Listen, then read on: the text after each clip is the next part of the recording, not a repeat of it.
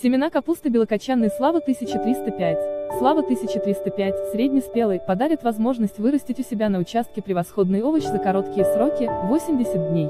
Кочаны вырастают круглые, плотные, больших размеров до 5 кг с отличным вкусом. На разрезе у плода желтовато-белый цвет, листья сверху темно-зеленые, восковые кочерыга средняя. Достоинство славы в отличной легкости, высокой урожайности. Капусту употребляют сырой и консервируют, используют для приготовления кулинарных блюд. Культура не подвержена к растрескиванию и болезням, может легко храниться более трех месяцев, сохраняя все полезные вещества и сочность. Капуста белокочанная слава 1305 – это однолетнее растение. Капуста прекрасно используется подавляющим числом садоводов во всем мире для плодородных почв.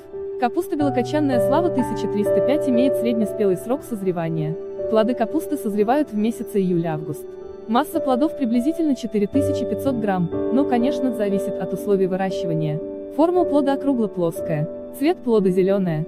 Ягоды можно потреблять в свежем виде.